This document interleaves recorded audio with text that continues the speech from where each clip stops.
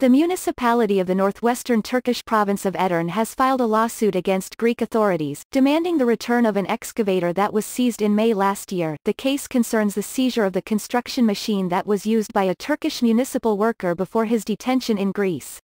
Musa Alurik, 38, was detained in May 2018 by Greek authorities after accidentally crossing into the country with an excavator. Alurik had been working on the construction of a well at a Turkish customs post.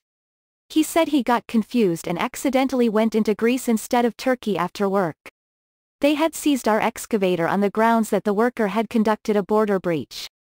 We saved the man, but the excavator stayed behind, said Edirne acting Mayor Selçuk Çakır on January 3.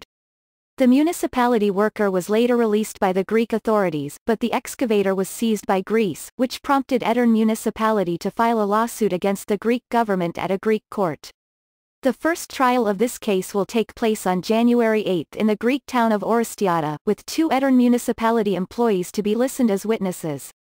During a municipality council meeting on January 3, Çakır said, You know there had been a well-known incident in May 2018, we have appointed our two employees regarding the case for them to be listened to as witnesses.